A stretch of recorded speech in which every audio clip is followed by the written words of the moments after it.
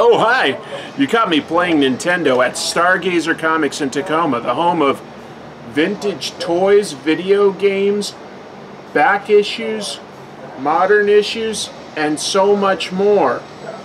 Hey, speaking of old school Nintendo, let's talk about licensed comics today.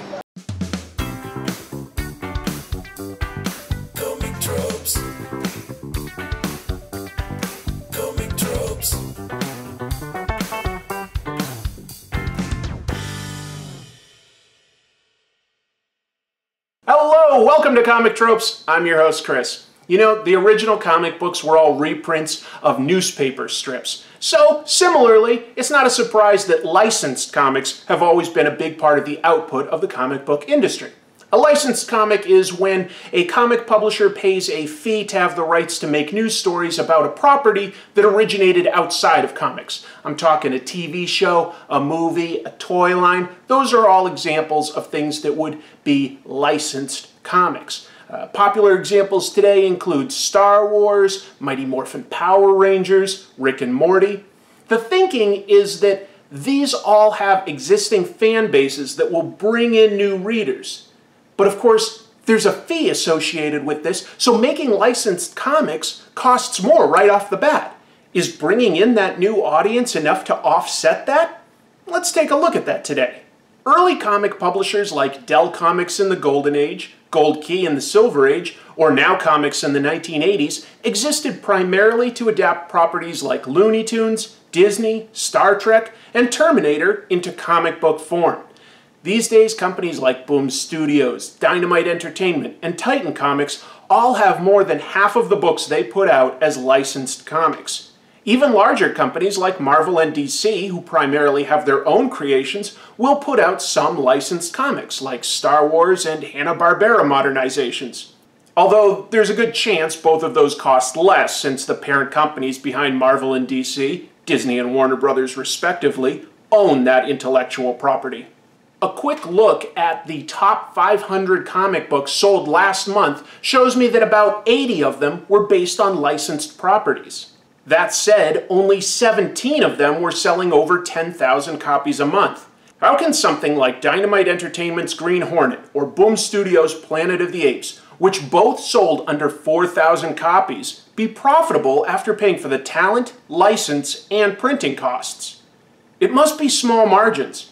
I'm convinced that a lot of smaller companies have existed on small margins with the hope of their licensed comics picking up media attention from time to time and attracting new readers. I can't find any evidence to back up my hypothesis, but one thing I do know is that these comics probably aren't paying their talent very much. And if a book isn't selling very well and you're not paying the talent a lot, well, they're not going to be very passionate about it, are they? I want to take a look at some of the most bizarre examples of bad licensed comics out there today. In 1978 and 1979, Marvel successfully launched comic book adaptations of Micronauts and ROM Space Knight. Perhaps part of what made these toy adaptations successful was that they were set within the Marvel Universe and interacted with its superheroes regularly. In 1982, editor-in-chief Jim Shooter tried to adapt another toy line called Team America.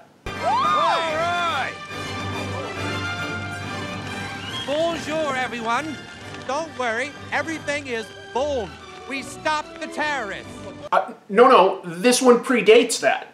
Team America began as an Evel Knievel set of toys in 1972. But in 1977, Knievel pled guilty to battery and lost all his endorsement deals. It took Ideal Toys a while, but eventually they decided to recolor the existing toys and call it Team America. Jim Shooter loved the idea and adapted it into a team of motorcyclists who were constantly being chased by Hydra, usually an enemy of spy agency S.H.I.E.L.D. The team was initially comprised of leader Honcho, a former CIA agent, Wolf, a former biker from LA, and R.U. Reddy, a former rock star. That's right, all three bikers had former amazing jobs, kind of like pro wrestlers in the 80s with jobs as repo men, dentists, and evil accountants. They also frequently met the masked biker with amazing skills known only as the Marauder, and the comics kept the mystery up until the final issue revealed who the Marauder was. And while it at first appears to be Georgina, the girlfriend of one of the team, a rogue Hydra leader then tells them that Honcho, Wolf, and Reddy are actually mutants, and their power is to project all their skills onto another person. The book was not a hit, and it struggled to reach 12 issues. The toy line was dying, the fad was at the end of its life. It wasn't a great time to try to launch this idea. Maybe five, ten years ago, it might have been a hit. But in 1982, it kind of bombed. These days, they're really just a footnote in the Marvel Universe. But that wasn't the only thing that Jim Shooter came up with. Jim Shooter was the ninth editor in chief at Marvel, but his leadership style began to drive away some top talent like Marv Wolfman and John Byrne, and he was fired in 1987. Marvel was up for sale in 1989, and Jim Shooter brought together several investors who ultimately put together the second highest bid. Following that, he formed Valiant Comics in 1990. In 1991, they successfully launched a superhero line, but for about a year before that, they mostly survived off of licensed comics like the Ultimate Warriors Workout comic. Another bizarre license was for Nintendo's Game Boy. Not Super Mario or Zelda or some of those amazing characters found in Game Boy games. No, this was about the Game Boy itself. How do you make four interesting issues about the Game Boy? You don't. This comic begins with a guy named Herman playing his Game Boy and then bragging to his pet rat that he just got to the final level of Super Mario Land but intentionally let Mario die. That sounds like fun, doesn't it? Playing a game for hours and hours and then intentionally losing right at the very end? I mean, the only thing that could top it is maybe excelling at your job, your career for 20 years, and then just going out and taking a big dump on your desk in front of everyone and getting fired, and then going home to brag about it to your pet rat. Herman continues to prove himself wildly unlikable by being terrified of a homeless man asking for spare change, then saying that beggars should all be shot. This leads the homeless man to stick up for himself by shouting that he's a vet that just doesn't have a job, so Herman cowers and gives him a quarter. Of course, that was back in 1990, so a quarter then is worth up to 25 cents today. Herman gets to his job at the mall at a place that's basically Radio Shack. He lies to his boss that he was nearly mugged and had to fight off a group of people. He starts ranting to his boss that if he was in charge, every litterbug, jaywalker, mugger, and liberal politician would be strung up. Uh, killing litterbugs? That reminds me of a guy we recently covered. Herman's boss heads out for an errand and mentions that a Game Boy is missing. We now see Herman taking one and saying he stole it, and he'll steal another. This is an interesting way to promote the Game Boy. Hey kids, why not try shoplifting?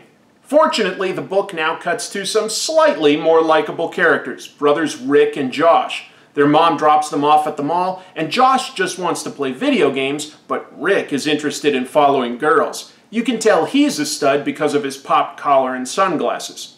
There's a small thunk sound effect the boys ignore, and we next see that Herman has been captured by a massive army of Nintendo monsters that are coming out of his Game Boy. Thunk. The alien warlord Tatanga is a tiny purple Muppet man who has captured Princess Daisy and reveals that he hypnotized Herman to escape from his dimension into another one to conquer it. Again, is this how you try to sell a Game Boy? Hey kids, buy one! Monsters might come out of it and try to kill you. Tatanga's monsters cause chaos in the mall, but nerdy Josh recognizes them and knows who can help. Rick guesses on who they can call. Not the police, but Hulk Hogan or Chuck Norris. Josh prays to his Game Boy, and a tiny Super Mario emerges to fight Tatanga. Tatanga takes Daisy to the World Trade Center for lunch, and they begin destroying it, but of course, Super Mario is more than enough for Tatanga's minions. Herman shows up to hit Mario with a lunch tray, but Mario finds an invincibility star, just like in the game, and Tatanga and Mario jump back into the game. This comic is certainly better timed than Team America. I mean, the Game Boy had only come out in 1989, the previous year. At the same time, it didn't have any top tier talent to draw in new fans. And nobody wants to read a book where they feel like they're being advertised to.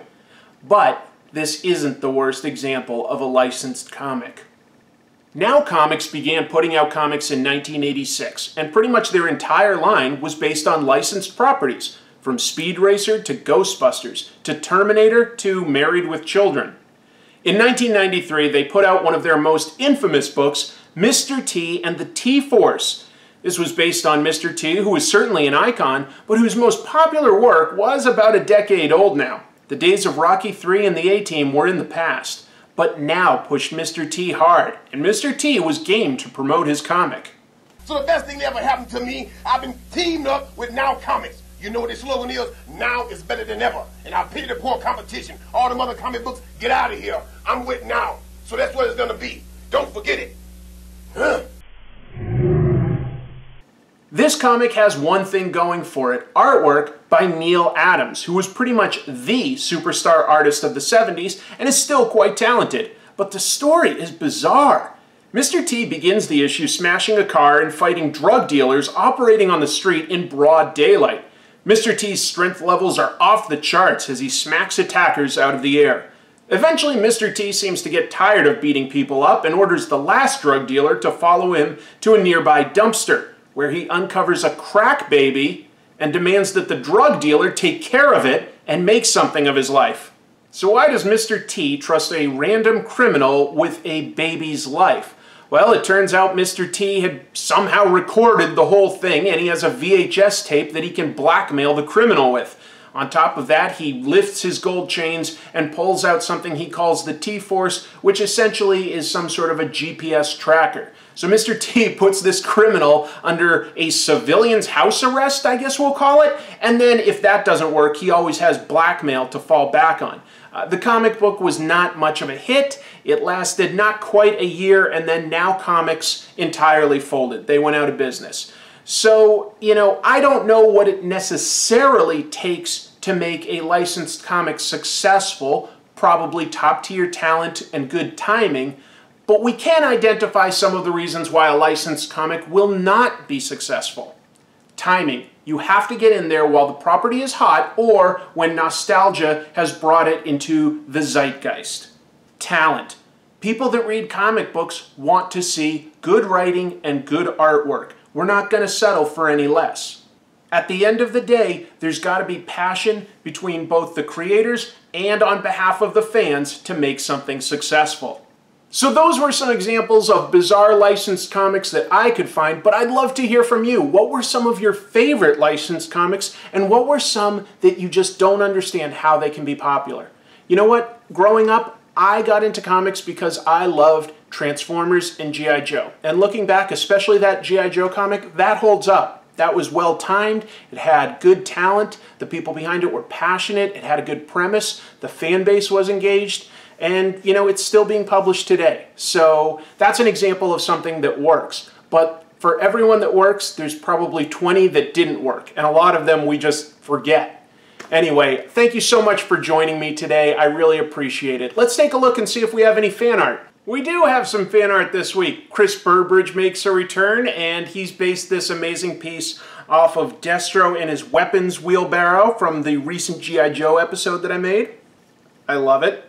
Patrick Spohr sent me a really cool piece saying that it's his first attempt at drawing in a really long time and that both he and his wife enjoy the show. Thank you so much, Patrick. I love it very much. Miles Durkee returns, and it looks like he's drawn Infotron. He's my robot sidekick that we haven't seen in quite a while, but I love this interpretation. He looks fantastic. J. Andrew World sends this piece of me looking incredibly cool and powerful over the city. That is one of the coolest looks I've ever had. And finally, this piece isn't exactly related to comic tropes, but it was inspired by my recent episode about Steve Ditko. That's by Gabe White. I really enjoy that, so I thought I'd share it with everybody. So that means we've actually got two entrants this week to see who will win the Gachapon Prize of the Week because the art has to be about the show specifically, and both uh, Miles and Chris tell me that, like, because they've actually won before, that they're okay not being in the running. So I'm going to flip a coin. Uh, heads will be, I'm looking at these, okay, heads will be Patrick Spohr and tails will be J. Andrew World, okay? Heads is Patrick, tails is J. Andrew. It is Tails. It is Tails. So, let me grab a Gachapon. All right, the Gachapon bag from Japan. Let's see what we got in here this week. J. Andrew World, you won this Star Wars piece. Hey, that's appropriate. Licensed comics, Star Wars. Yeah, this is uh, a Death Star that each piece comes off, and inside there's some sort of uh, a Star Wars ship that you can build. So I will send that to you. J. Andrew World. Uh, thank you everyone for the fan art. Thank you everyone for watching. The channel continues to grow. It's really encouraging. So we've got some great episodes coming up on some important creators, on some important publishers, slightly more of that documentary, mini documentary feel. Um, but I can't do those every single week because they require a lot of research and, you know, I've got a full-time job, so I don't have time every week to do sort of a, um, a real deep dive like the Steve Ditko episode, for instance, or the episode on the history of comic book lettering those tend to take me a little longer and I sort of have to work ahead on them. So some weeks I have to do something that's a little lighter, like looking at one particular comic book and trying to use that as a lens for the techniques a creator or a character would use. Just trying to explain a little bit of what's going on in the show. Um, thank you to all my new patrons on Patreon. That's been incredibly rewarding to know that so many people appreciate what's going on here. I'll keep doing it. Thank you all, and remember, until next week, keep reading comics.